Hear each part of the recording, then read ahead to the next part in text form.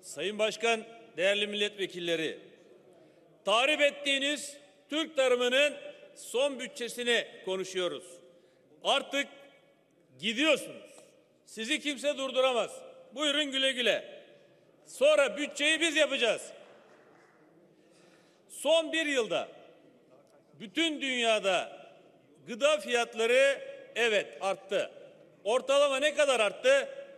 Yüzde on üç. Peki Türkiye'de neden yüzde yüz üç arttı? Bir zamanlar kendi kendine yeterli olan ülkeyi nasıl ithalatçı hale getirdiniz? Siz üç harfli marketlerde uğraşırken, üç harfli marketlerle uğraşırken nasıl oldu da gıda fiyatları üç haneli rakamlara çıktı? Nasıl oldu da Cumhuriyet tarihinde ilk defa peynir fiyatı et fiyatını geçti? Nasıl oldu da Cumhuriyet tarihinde sizin döneminizde ilk defa yem fiyatı süt fiyatını geçti? Yine size nasip olacak. Daha 5-6 ayınız var. Siz bize göstereceksiniz maalesef. Birkaç ay sonra et bulamayacağız. Et fiyatları altınla yarışacak. Neden mi? Süt hayvanı kalmadı. Köylerde hayvan bulamıyoruz. Dolaşıyoruz. 2 milyona yakın süt ineği kesildi. Sizin politikalarınız yüzünden. Gelelim bunlar niye oldu? Bütçe vermiyorsunuz arkadaş. 54 milyar lira bütçe veriyorsunuz. Faizciye 10 katını veriyorsunuz. 565 milyar lira.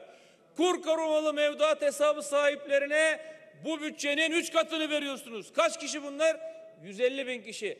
Kaç tane çiftçi var? 2 milyon aile. Çarpın 4 ile 8 milyon kişiye reva gördüğünüz buza desteği, gübre desteği, mazot desteği kaç para? 54 milyar lira.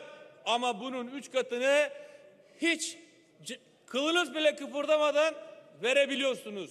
Faizciye 10 katını verebiliyorsunuz. Bir de televizyonlara çıkıyorsunuz. Gübre mazot desteğini arttırdık diyorsunuz. Ya geçen sene bakın Ayçiçeği desteklerinden bahsedeyim. 37 lira mazot gübre desteği vardı. Bunu yüzde 95 arttırdık diye böbürlendiniz. Geçen sene bu 37 lirayla çiftçimiz 5,5 litre mazot alıyordu. Şu an 4,5 litreye düştü. Çiftçinin mazotunu çaldınız. Bu desteği de şimdi vermiyorsunuz. Seneye vereceksiniz. Gidin diyorsunuz. Seneye alacağınız desteği Ziraat Bankası'ndan kredi olarak alın. Çiftçi gidiyor Ziraat Bankası'na diyorlar ki senin sicilin bozuk. Sicili bozdunuz arkadaş. Çiftçiyi öyle bir borçlandırdınız ki iktidara geldiğinizde 1 milyar olan çiftçi borcu 258 milyar 700 milyon 258 kat çiftçiyi ipotek altına aldınız. Ahırlar ipotekli, tarlalar ipotekli, traktörler ipotekli. Yıllardır yasaya uymadınız. Bu sene 185 milyar vermeniz gerekiyordu. 54 milyar verdiniz. Destekleri arttırmıyorsunuz. Çiftçi sürekli borçlanıyor. Ve 85 milyon gıda enflasyonu altında inim inim inliyor. Kırsal boşaldı. Size göre varoşlar oluşturdunuz. O varoşlardan oy devşiriyorsunuz. İthalat durmuyor. Ürettiğimiz, üretebileceğimiz her şeyi ithal ediyoruz. Ya Türkiye bundan 20 sene önce sorsaydınız buğday ithal etmez derdik, arpa ithal etmez derdik, nohut, mercimek, fasulye hepsini ithal ediyoruz.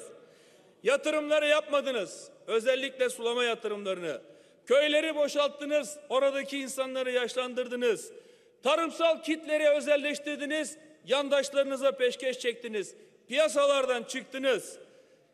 Bilgiyi üreticiyle buluşturmadınız. Ziraat mühendislerini, veterinerlerini, veterinerleri, su ürünleri mühendislerini, gıda mühendislerini atamadınız. 800 tane tarım danışmanına para bile veremiyorsunuz. Yazıktır, günahtır. Girdi piyasasında yani gübre piyasasında, yem piyasasında devlet yok. Çıktınız. Ama çıkış var. Çünkü bu sizin son bütçeniz.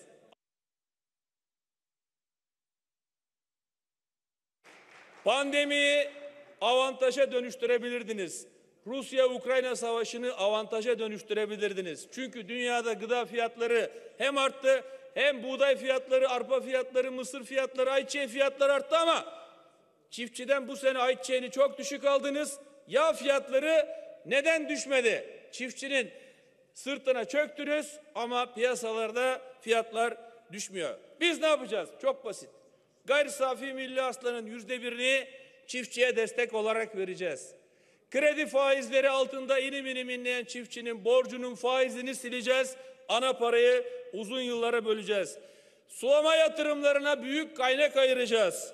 Mühendisleri tarlaya denetime, üretim planlamasına, veterinerleri de ahıra atamasını yapacağız.